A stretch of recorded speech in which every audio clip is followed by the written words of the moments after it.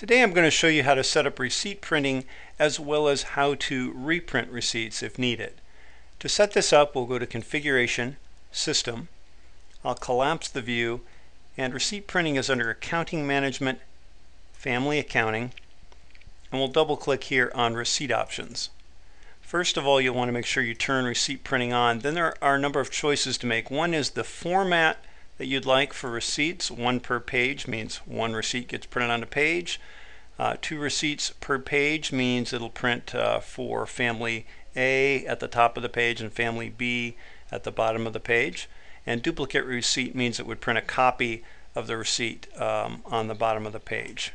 And then you could just cut the page in half. But I'm going to pick one receipt per page. And then you can choose if you want this apply to all families, which should say all tracking items, or if you wanted to pick a particular group of families. For example, you could create a tracking category called receipt requested if you only wanted to print receipts for certain specified families. I'm going to leave mine set to all tracking categories. And then how do you want to store and print the receipt?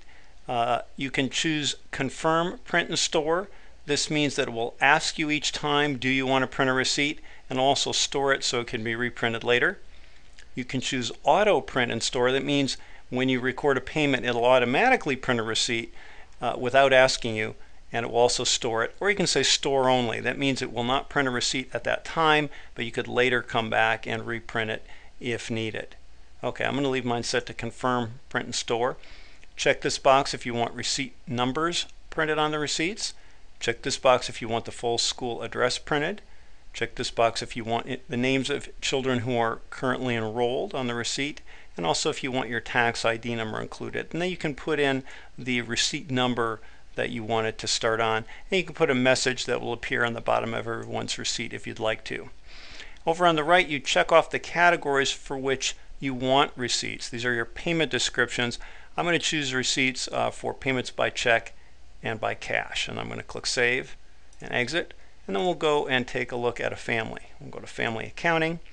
I'll choose this first family. Let's say that they make a payment. I'll go to their ledger card. And down at the bottom here, I'm going to type in PMT, the first few letters of payment by check. Tab over to my comment. That would usually be the check number. And then tab over to the amount, make sure that's right, and click Post. And at this point, it asks me if I want to print a receipt, I could say yes, and it would send it to my printer.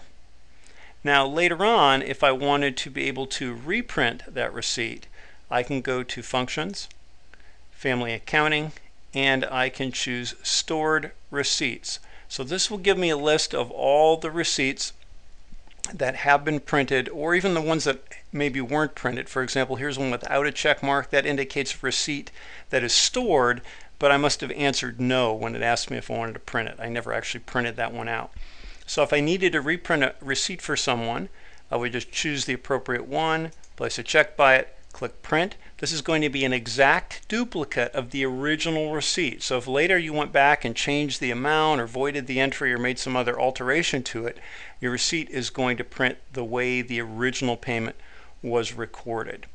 And that's all there is to setting up receipt printing and reprinting receipts.